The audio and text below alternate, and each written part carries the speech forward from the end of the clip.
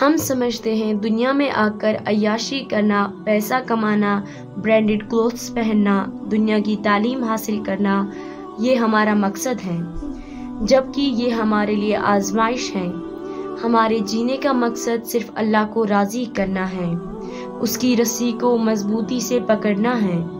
यहाँ रस्सी का मतलब दीन है और इसकी किताब को गौर से पढ़ना है कि अल्लाह ने कुरान में क्या क्या बताया है। अल्लाह ने हमें क्यों पैदा किया है? ये दुनिया तो दरअसल हमारे लिए आजमाइश का ज़रिया है। कोई इसे पाने के लिए अल्लाह को भूल बैठा तो कोई नबी सल्लल्लाहु अलैहि वसल्लम की सुन्नतों को कत्ल कर रहा है। और दुनिया में जितनी भी चीज़ें हैं, अल्लाह ने सबको किसी न किसी मकसद के लिए पैदा किया है। कोई भी चीज़ बेकार नहीं है। कभी कभी हम ये कह देते हैं कि अल्लाह ने हमें पैदा ही क्यों किया? ज़िंदगी में बहुत मुश्किलात हैं my brothers and sisters Allah says in Quran Allah did not create all these except for a purpose. He explains His signs to those who understand.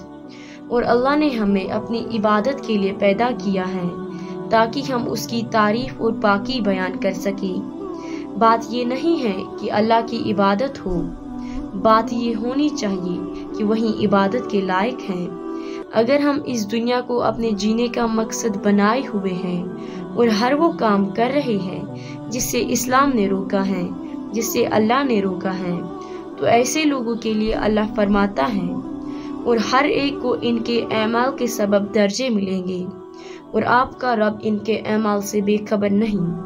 और फिर अल्लाह फरमाता है, जो शख्स ने काम करता है, इसको इसका दस गुना मिलेगा। और जो शख्स बुरा काम करेगा, इसको इसी के बराबर मिलेगा और इन लोगों पर जुल्म ना होगा।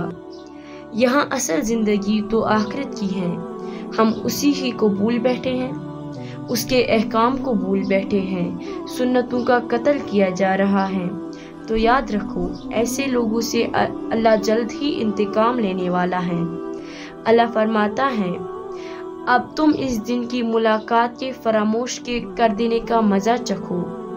हमने भी तुम्हें बुला दिया और अपने किए हुए अमाल की अजाब का मज़ा चखो। ये बहुत बदनसीबी की बात होगी, जिन्हें अल्लाह भूल जाए। तो माय ब्रदर्स एंड सिस्टर्स दुनिया में आने का मकसद ही अल्लाह को राज़ी करना है, अल्लाह की इबादत करना है।